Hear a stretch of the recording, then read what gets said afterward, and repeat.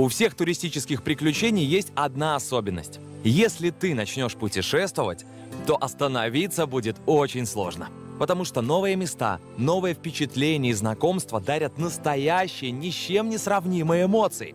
Такие ощущения хочется испытывать снова и снова. Меня зовут Антон Белявский. Сегодня я направляюсь в белорусское местечко, которому более 600 лет. Мой маршрут построен в агрогородок Деречин, Зельвинский район, Гродненская область.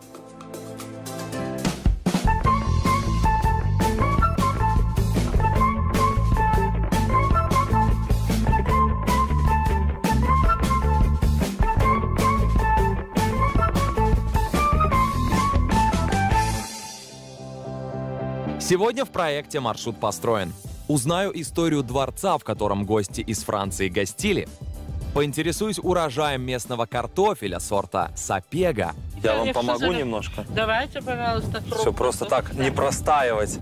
Проверю, грозит ли падение местной Пизанской башни Не спешите переживать.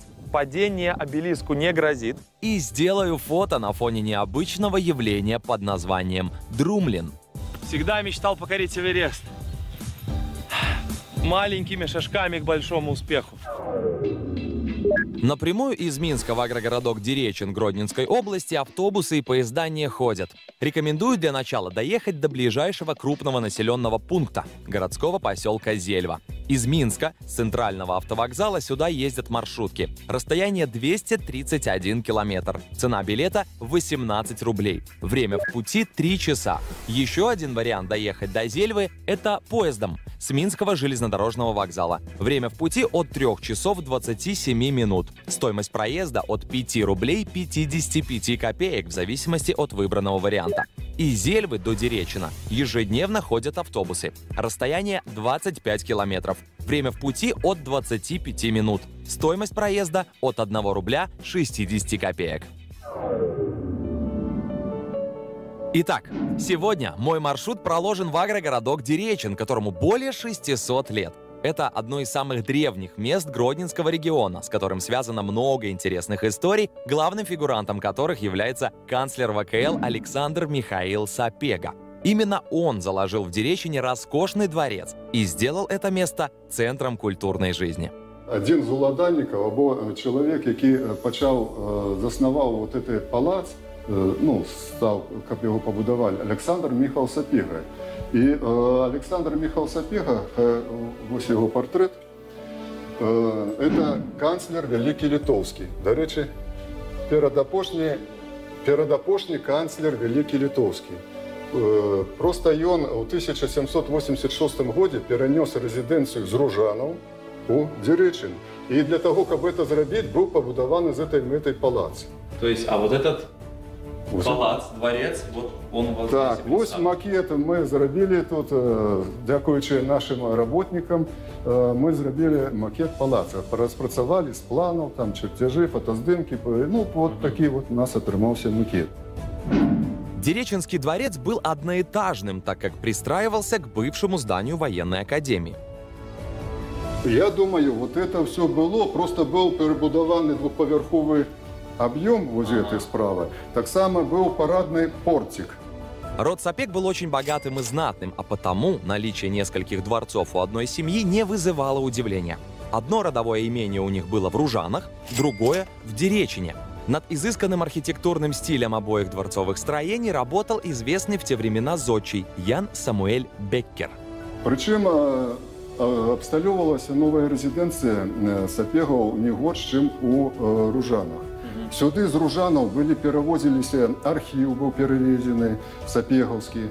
Сюды была м, пераведзена э, ну, зброя там продкаў, там трофейная зброя, в- вайсковы кабінет, карціны, мэблі адтуль перавозілася сюды. І тут паркетная па, па, ну, подлога была паркетная выкладзеная, там каміны, выдатна тут абсталёўвалася.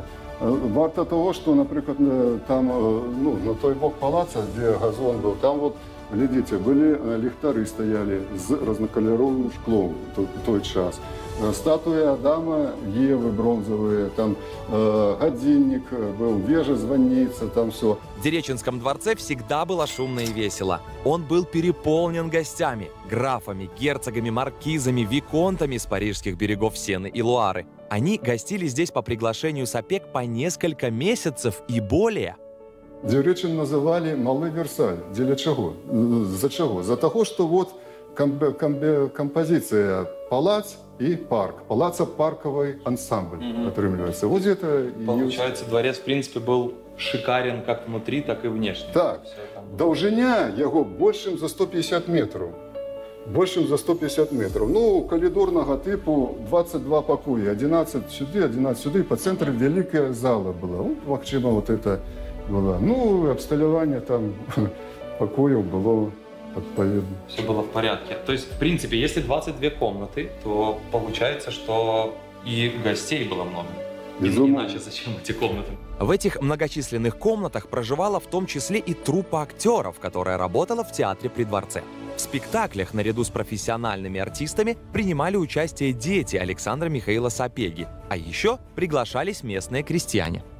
Особливо е, попу- популярний Дюречин став при сині Олександрі Міхові Франтішку з- е, в Сапєгу. У його є таке виказування, що у, Порто, у Санкт-Петербургі А, йому холодно, за в холодно, Португалії у жарко. Португалії горяче, у Англії йому сиро, у е, Варшаві нема з ким карти погулять, у е, Вільні нема е, з Сябровським порозмовляти. І тільки у Парижі і Деречині і він мог кілька тижнів відчувати себе добре. Розумієте? да. Ну, то есть вот Деречин с Парижем равнять, это уже сам знак, что... Да. И плюс э, э, Франтишек Сапега, коли ён падарожнічаў по Европе, там ён закупляў карціны, ён любіў э, мастацтва. І ён закупляў карціны. І гэтыя карціны прывозіў сюды, папаўняў э, сваю карцінную галерею. В картинной галерее дворца насчитывалось около 300 полотен художников со всей Европы. А еще была богатейшая библиотека. Коридоры украшали античные статуи и египетские вазы. можно сказать, что в Дереченском дворце была фамильная сокровищница рода Сапек, драгоценные экспонаты которой собирались веками. А вот в этот старинный колокольчик частенько звонили представители семьи Сапек, проживающие в Дереченском дворце. Этот звон был сигналом для прислуги о том, что князьям срочно нужна помощь. Бегу-бегу. Но самым ценным экспонатом музейной комнаты в Деречине считается объект, который не принадлежал семье Сапек. Вот перед вами э, самый каштовный экспонат нашего музейного покоя. Это, на мой погляд, это пашпорт. Пашпорт, який видадены на э, ж- жихарцы, ну, недалеко от Деречина, Золотеева вёска есть, э, у 1917 году. То есть, ну, Оригинал. Оригинал. Так, вот. Бачите, а я его вам пок- пок- покажу. Вот. Е, Значить, е, на німецькій і на білоруській мові. Ось е, хочеться звернути увагу на е, ступінь а, ахови паспорта. У наш час, і то у нас такого нема, такої нема ступені ахови. Тому що, глядите, про, влада- ну, про особу, якої дається паспорт, написано, чим займається, це беру спеціальність, так, віра, написано узрост, Е, кольки там сантиметрів, шрами, родимі, плями, там все, місце, де показане. картотека. Ось, написано в оттиск правого показного пальця. Отпечаток. Ось, бачите?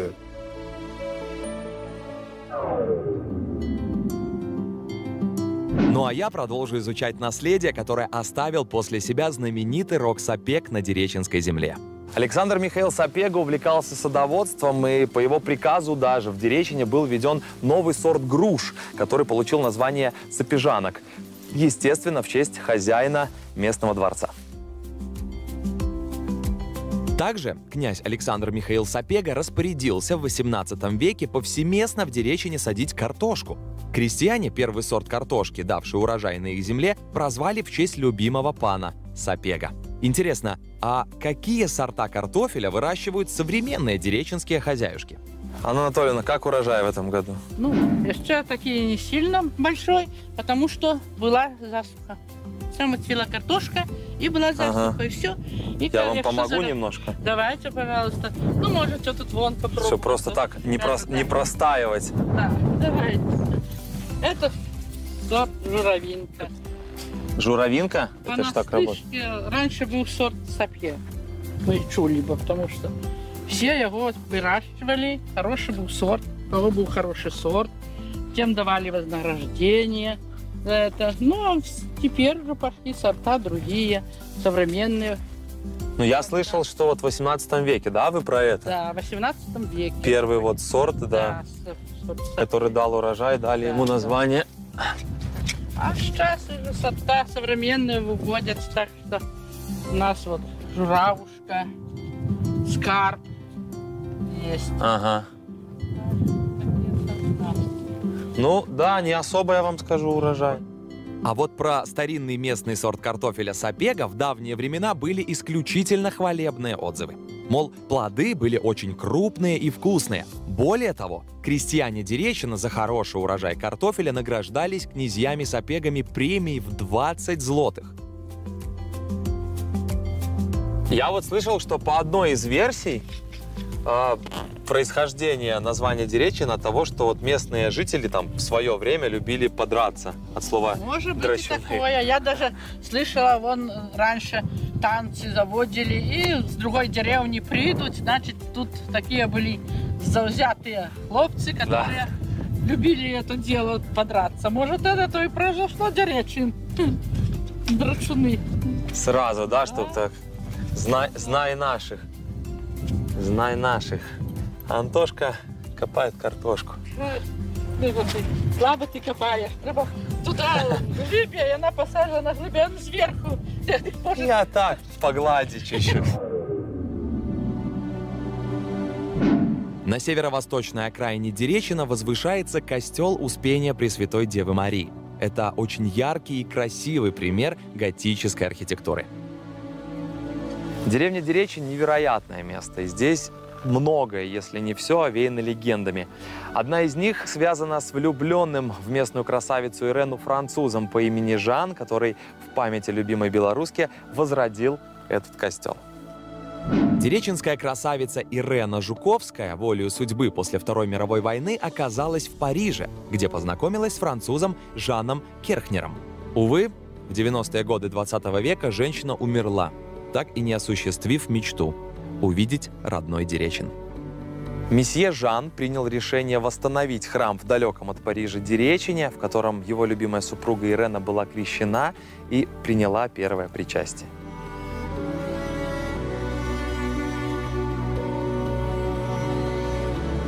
После переговоров с местной администрацией был заключен договор, и в 1991 году начались ремонтные работы, финансирование которых взял на себя месье Керхнер. О красивом поступке влюбленного и безутешного француза свидетельствует памятная доска на стене при входе в костел.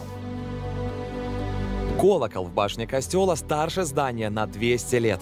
Он был отлит в 1717 году. Сейчас сердцевина старинного колокола работает с помощью часовой автоматики. В Деречине есть не только костел, но и Спасо-Преображенская церковь. Она построена в византийском стиле в 1866 году. Просторное и величественное здание храма венчают пять деревянных куполов. Эта церковь примечательна настенными росписями. Обратите внимание на алтарь и купол. Это нереально фантастически красиво. При всем при этом ощущаешь какую-то особую воздушную архитектуру храма. Я надеюсь, что камера в полной мере передает эту сказку, потому что от этого действительно захватывает дух. Храм украшен росписями на библейские сюжеты и изображениями святых угодников. В церковном архиве не сохранились сведения о том, кто и когда сотворил этот удивительный шедевр. Но одно бесспорно, что автор росписей был мастером своего дела и глубоко верующим человеком.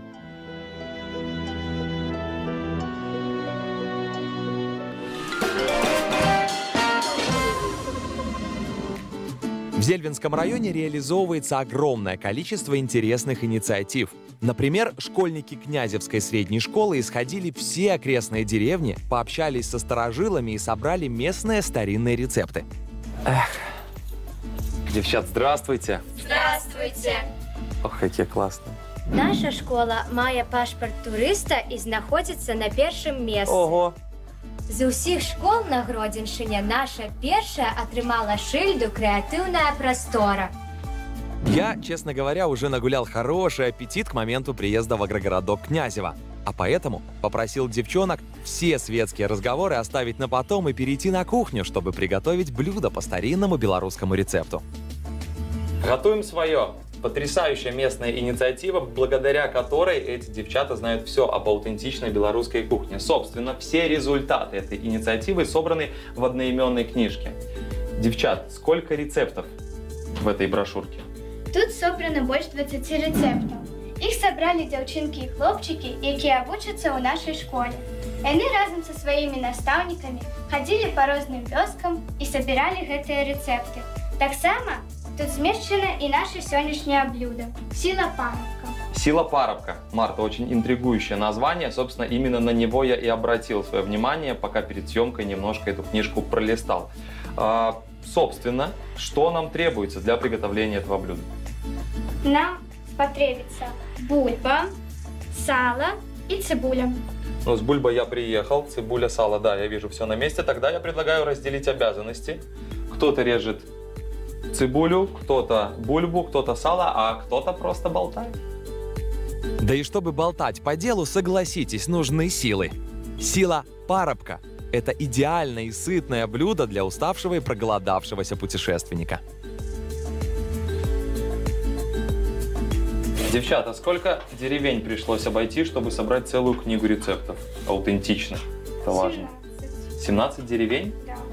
А, ну, я, возможно, вы не знаете, но мне просто интересно, в километрах это сколько? 17, это же много. Какое блюдо, какой рецепт вас привлек больше всего? Запара. А, да? Прям этот? Серьезно? Да. Я так понимаю, именно поэтому мы его и готовим, да?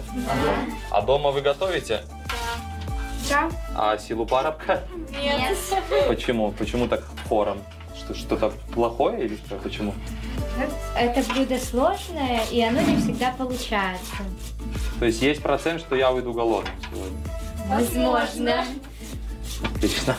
Оказалось, что я выбрал для готовки самое старинное блюдо в кулинарной брошюре. Старинный рецепт блюда «Сила парабка» сохранил житель деревни Валькевичи, который работал когда-то у местного пана. Я когда листал рецепты, а, я еще обратил внимание на блюдо под названием гарбузянки. Что это такое?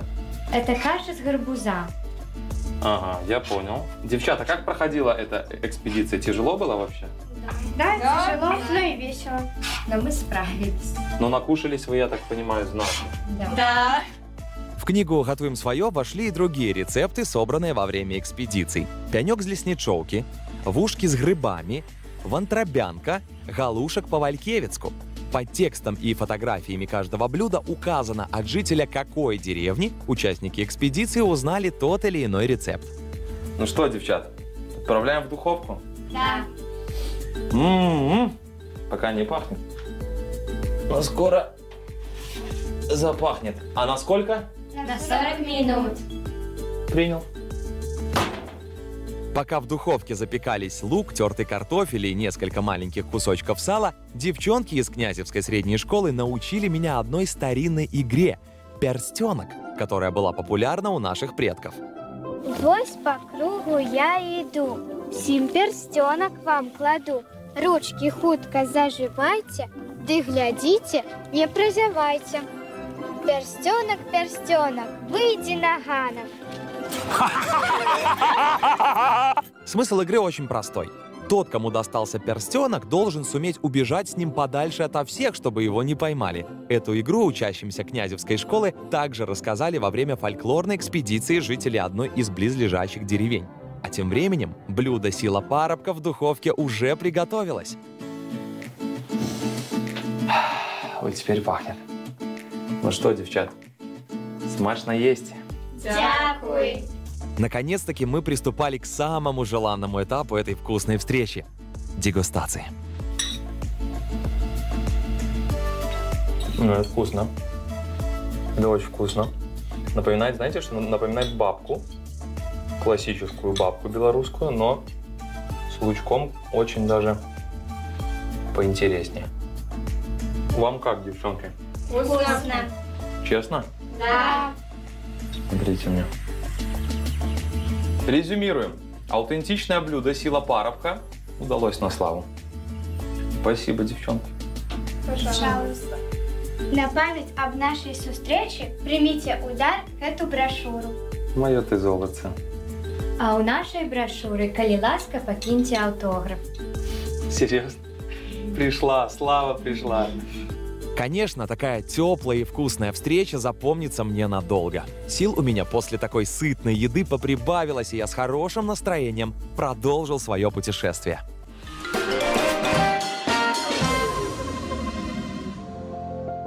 В Зельвинском районе даже в самой маленькой деревне можно встретить любопытные достопримечательности, о которых не напишут традиционные туристические путеводители, но которые обязательно посоветуют увидеть местные жители. Я приехал в деревню Алексичи, чтобы увидеть своими глазами старинный обелиск, который построили шведы в 1708 году. Подарки бывают разные. Как вам, например, вот такой презент в виде высоченной мемориальной колонны? Понравился? Вот и местным жителям он тоже нравится. А, видимо, поэтому более чем за 300 лет его до сих пор так и не разобрали на кирпичики.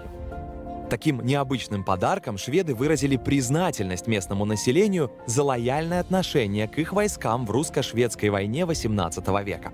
Историки предполагают, что, скорее всего, эту колонну построили в 1708 году, так что этому обелиску более 300 лет. Обратите внимание, колонна немного наклонена, прям как знаменитая Пизанская башня. Но не спешите переживать, падение обелиску не грозит. А внутри находится стержень, который глубоко уходит в землю, ну и, собственно, обеспечивает надежную опору этому строению. По другой версии, это сооружение появилось в честь Конституции Речи Посполитой 1791 года. Подобного рода колонны возводились во многих белорусских местечках в конце XVIII века.